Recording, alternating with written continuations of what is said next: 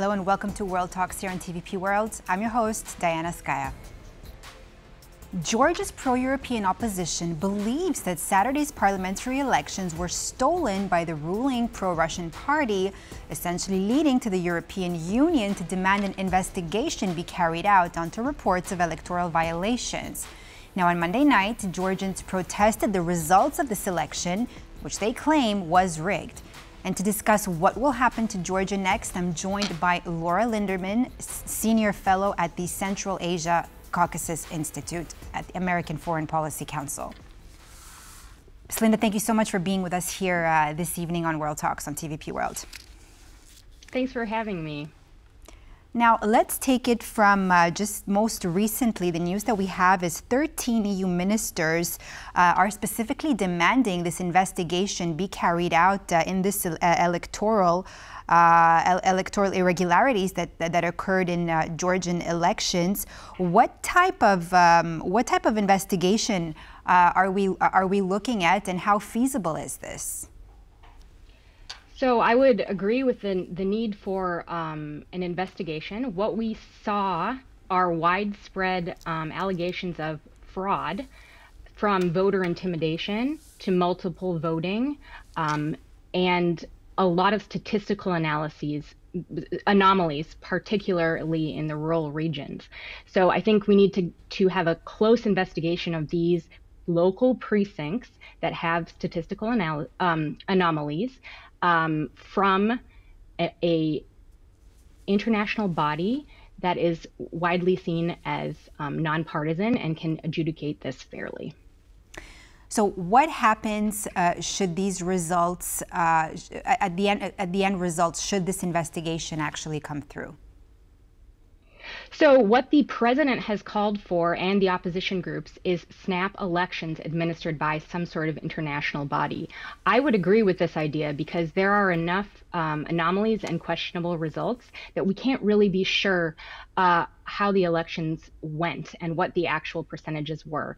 The very credible exit polls um, from ind- independent organizations showed that the Georgian ruling Georgian Dream Party got approximately 40%, where their official tallies had them around, up much closer to 54%. So that is quite a discrepancy and makes it a huge difference in these pivotal elections that are going to be a cause for the future of Georgians foreign Georgia's foreign policy orientation. Will be will they continue to be aligned towards the West, which mirrors the vast majority of Georgians' uh, preference, or towards Russia um, with the Georgian Dream? That's why it's very pivotal and important elections. Now, do you think that aside from uh, a potential investigation uh, be carried out, do you think that protests and demonstrations could shift uh, could shift the on ongoing situation in Georgia? Absolutely. We already saw protests last night, um, which were called for by the president. And I think that continuing protests will send a strong message and also encourage Western partners to make stronger uh, positions about the fraud and irregularities seen at the elections. And with this being such an important turning point for Georgia as far as their foreign poly- policy orientation and their future in Europe, protesting is is likely the only way to really get attention and move uh, get attention on the world stage and and and move things forward. And now, given the uh, given these rising protests, how is Georgian Dream likely to respond domestically? I think that we should expect that they will crack down. We've seen already um, an alignment from Georgian Dream towards um, legislation that targets critical NGOs and the media. Uh, we've seen uh, crackdowns in the past on protests. I would expect further uh, moves in this direction from the ruling party. And could we see a shift in Georgian Dream's approach uh, in terms of uh, their shift to political opposition and civil liberties in Georgia? Absolutely. In the spring, we saw um, that the Georgian Dream passed this Russian style foreign agent law, which is aimed specifically at targeting civil society organizations in Georgia. And and was written in a very in very broad terms, which means that it can be used um, to go after political enemies by the ruling party. So I think we'll continue to see these tactics potentially used by the Georgian Dream Party um, if if we do not, if this sort of trajectory cannot be stopped uh, right now. That's why this is such a critical moment for Georgia. And also critical, I believe, I mean, like you said, it's to see what side Georgia will essentially move towards, uh, the West or uh, with Russia. Now, what are the potential impacts of Georgian Dream's continued power on Georgia's EU uh, and NATO uh, aspirations? So we've already seen um, impact. So I think Georgian Dream's continued moving uh, towards Russia will pause the EU uh, candidacy, candidacy process that Georgia has underway. And by in, pause, what uh, are we what what are we what are we talking about? Pause. I mean, for years, for months. What are we looking at? Because I mean, I've seen some posts on platform X. Uh, one of the protesters uh, who said that my country is going to be in turmoil for the next 30 years. Was that an exaggeration, or do you think that this would be possible should things not change? So I, I think, is it possible? Sure, that sounds like a worst case scenario to me. I think the Georgian people are quite strong and, and quite resolved in their determination to move towards the European Union. I think in the short to medium term, while Georgian Dream remains in power, we're going to see a cutting off of the progress towards EU accession um, and EU candidacy status. However, I Georgia and the Georgian people have um, enjoyed many civil liberties and freedoms since independence. I don't see them going quietly as the government becomes more and more authoritarian and tries to crack down. So I think that things could get quite dark in the short and medium term in Georgia. Um, I'm not so pessimistic to think that this is a 30 year decision. Um, I think that Georgian Dream is increasingly unpopular and people in the country see the direction that the country is headed um, and will fight for change. Say this election is not repeated, snap elections don't take place. Can we see sanctions being targeted at Absolutely. Georgia? Absolutely. I would imagine that the European Union um, has some ideas per, perhaps around suspending um, visa free liberalization, which will very much hurt the Georgian people. I would imagine that the United States has a package of sanctions and the ability to both financially and uh, to levy financial sanctions as well as travel sanctions, which I think we'll see increasingly. As well, the United States gives a large portion of uh, fund of their funding to uh, Georgian government. Um, there's there's a lot of interoperability between the, the Georgian government and the and the U.S. government, and I think much of that funding, which has already been paused, will cease, and we'll see um, further tightenings along those lines. Hopefully, that won't go so far as to really hurt the civil society um, organizations that are working so hard to secure uh, independent and democratic Georgia.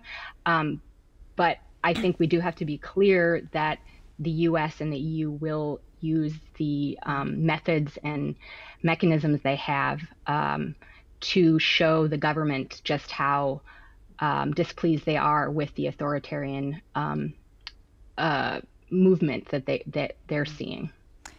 Viktor Orban was very uh, quick in uh, arriving to Georgia to congratulate, of course, the Georgian Dream Party. I mean, Margarita Simonian uh, was also very quick in sending her congratulatory remarks on Russian television.